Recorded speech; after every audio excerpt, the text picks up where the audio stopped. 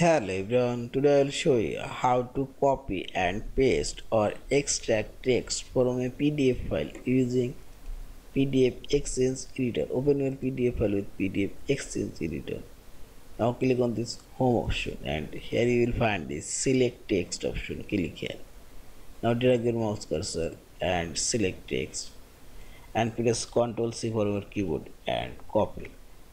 Now you can paste this notepad and this in this way you can copy a specific text area if you want to copy all of these texts press right key from your keyboard or mouse cursor or press ctrl from your keyboard and select all text and see this all of these text now selected.